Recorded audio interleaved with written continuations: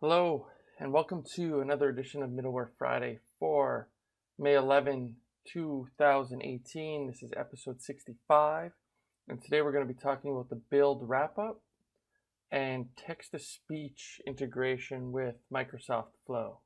And just as a reminder, while I am an employee of Microsoft, the content you're about to see is based upon my own personal opinions. So, first off, let's do a little bit of a wrap up around Build. So, Build was in Seattle this past week. Uh, so, today is actually May 10th. So, this is going to launch tomorrow. So, it's been a crazy busy week, but a lot of fun. And here's some of the the things that I took away from Build, or at least things that I'm going to further investigate because I just didn't have a whole lot of time to dig in to these topics. But there definitely were uh, buzzworthy around the expo floor. And the first thing is Kafka support for Azure Event Hubs. So I'm a big fan of Azure Event Hubs. I've got some friends on that team. I'm really happy for them and their ability to ship this. Um, Event Hubs is basically a high speed, high throughput telemetry engine, and uh, it's it's a managed service. It's something where you go ahead and provision it in Azure. You have a few knobs to turn in terms of throughput units, but it's essentially a managed service. So if you're a customer, uh, you're you're not concerned with a whole lot of infrastructure here. That's what uh, Microsoft is taking care of. And if you're not familiar with Kafka, it is a very popular open source, high speed high throughput telemetry engine as well.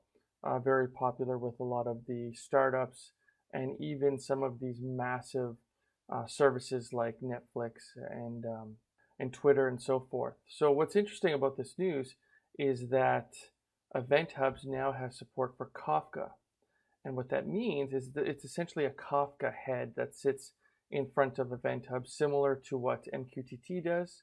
And what it allows you to do is it allows for publishing and consuming applications to believe that or think that they're talking to Kafka, and essentially they are because the APIs have been implemented in the protocols. Um, so nothing has to change from those perspectives, but you have a managed service now, which is pretty much unheard of. Um, yes, there's other solutions where you can run uh, clusters in the cloud, but none of them have the simplicity of Event Hubs. For Event Hubs, it's truly clicking a box, and that's going to enable Kafka. Um, to be fair, uh, there is still some additional work to be done in terms of feature parity between some of the other implementations of Kafka, but this is a huge first step for Event Hubs. And uh, Event Hubs has some ridiculous traffic that happens. Um, I believe it's like over a trillion a day, and you know now this will be even a, a bigger opportunity for them. Uh, next up is Logic Apps, and uh, similarly, I got some friends on that team, so happy to see them uh, shipping some good stuff. And in this case, it's native event support for Logic apps. And what that means, and this is the way it's been explained to me, I, I haven't seen it myself, but uh, so today or previously, you could go into Logic apps in the Azure portal, and you could go ahead and basically drop a, an event grid trigger onto your Logic app, and basically it's going to then um, you know wire up a webhook inside of um, Event Grid inside of Azure. But I guess what you can do now is the flip side of that. So almost similar to um, some of the first-party integration we've done with Flow with other other tools, it's sort of similar in that sense where you can go from Event Grid and basically go ahead and provision a Logic app. So I think it's bringing more people to the event party, and uh, it, it sounds cool. It sounds something worth checking out if you're going to use those two technologies. Now the next one's pretty interesting for me. Uh, just because we do uh, actually a lot of Power BI embedded inside of Flow. Um, our whole analytics platform is um, is based on Power BI embedded. So I'm intrigued, and, and this is not a commitment, this is not a promise, but um, it's definitely an area of exploration as we think about um, how we could perhaps bring alerts to Power BI embedded. Uh, so once again, not a commitment, uh, but definitely something worth exploring because um, I want to see how capable this is. And lastly, this is, uh, uh, I had an opportunity to see one session during my whole time at Build, and it was on the last day. It was after I had um, you know, finished all of my two sessions, and I felt like, hey, like this is an amazing opportunity to be at build. You've got some of the brightest minds in the industry. I want to go check out some sessions. So I was actually walking to an AI session. It was something around like building or bringing AI to your apps. And all of a sudden, there was this, the, you know, this huge lineup, and uh, the the people that were working the conference um, were basically saying, okay, this is the lineup for Mark Russinovich's introduction to blockchain session, and me being intrigued by blockchain, I'm like, okay, and having a lot of respect for Mark, I'm like, okay, I got to go see this. So I stood in this line, and um, I was able to get a seat way at the back, but um, it was great nonetheless just to hear about just an introduction to blockchain itself, plus got some insight into some of the, the larger projects that exist today, such as Bitcoin, Ethereum, Litecoin. And then naturally, we also got to see what Microsoft is doing in this space from an enterprise perspective. So it was a good session, uh, worth checking out, especially if you're new to cryptocurrency. Uh, go ahead and go to the build site and uh, and go ahead and watch that session, and also watch sessions related to these other topics.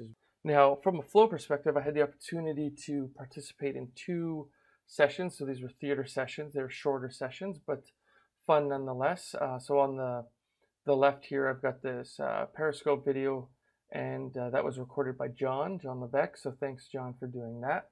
And this was a session I co-presented with Mehdi, who's from the customer success team here in Bellevue.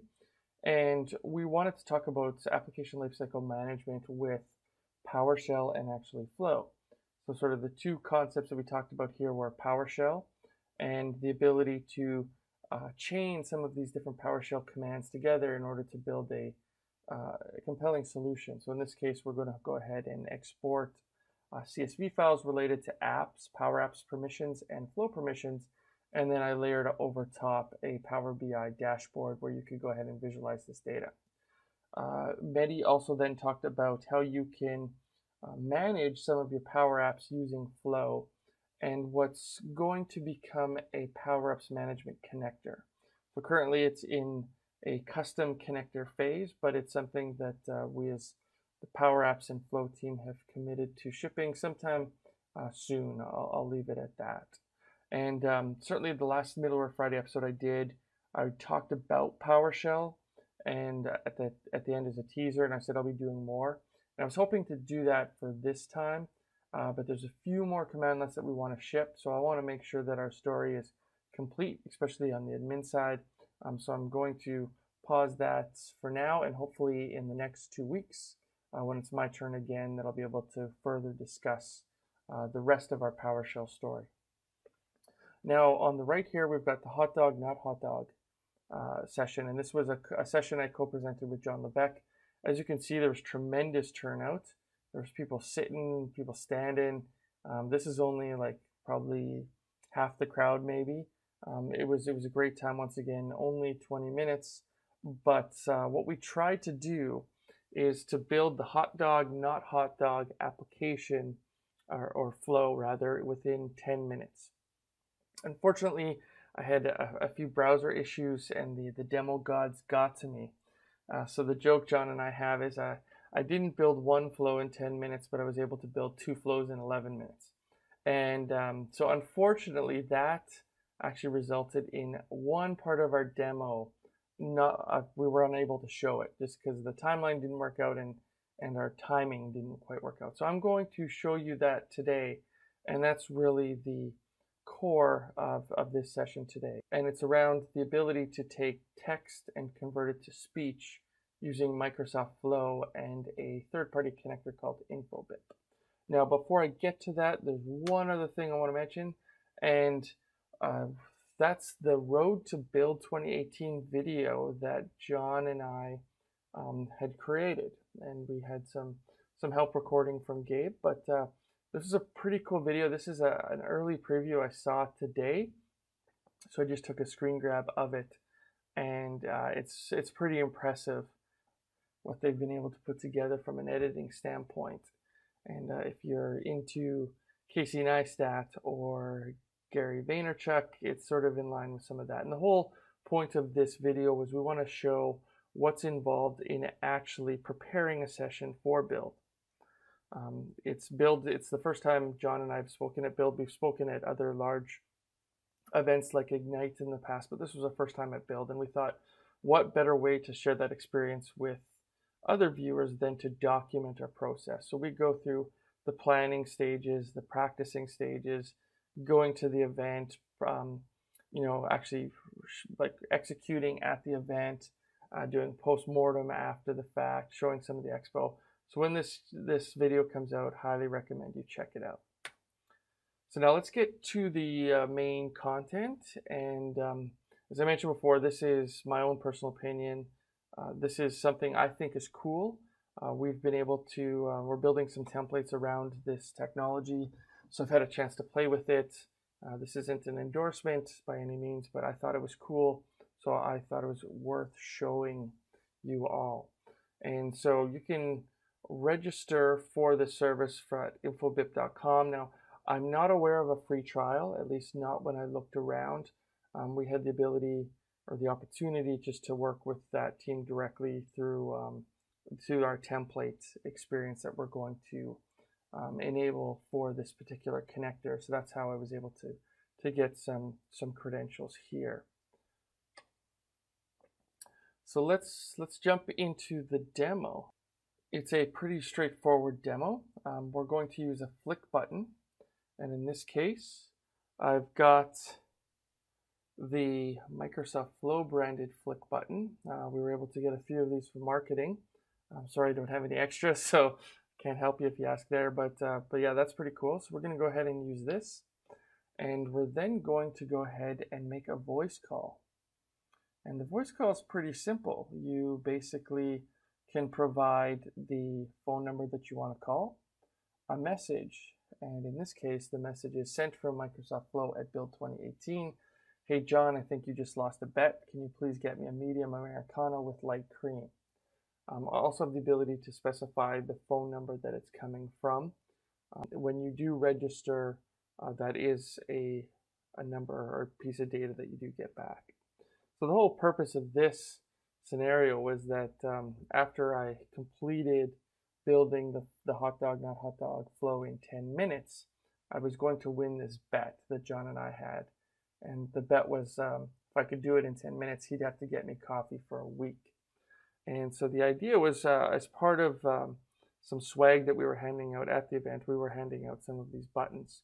And so I wanted to be able to show, um, you know, the crowd like, hey, speaking of buttons, um, you know, I've got a message for you, John. And then I'd go ahead and press the button.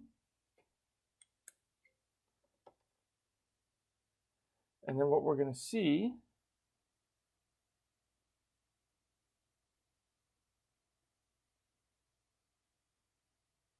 is I've got a phone call now. Sent from Microsoft Flow at Build 2018. Hey John, I think you just lost a bet. Can you please get me a medium Americano, light cream?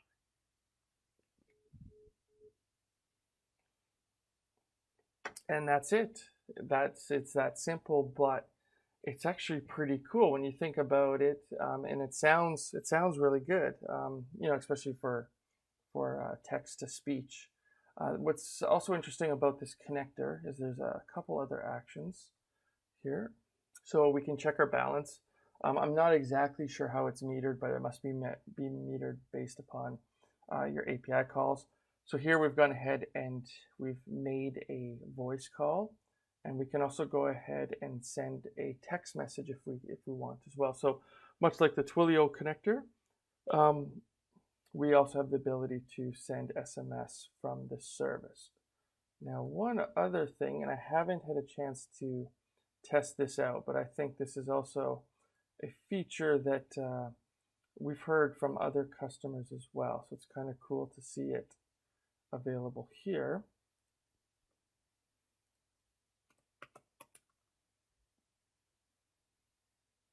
And that's InfoBip when you receive an incoming text message go ahead and initiate a flow. So that could be pretty cool too, especially we've talked a little bit about, you know, customer service scenarios in the past where you've got different channels. It could be through Twitter, it could be through email. Well, now it can also be through SMS messaging. So you could receive incoming text messages, maybe route it through uh, LUIS language understanding to determine intent, and then route that message to um, the appropriate uh, system that you need to, to pass that message off to. So cool. So short episode this time, um, but I hope you found it useful and beneficial. Uh, I want to thank BizTalk 360 for being a great partner of the show. Um, if you haven't registered for Integrate 2018 in London, that is coming up fast. So suggest you go ahead and register for that. And uh, we'll catch you next time on Middleware Friday.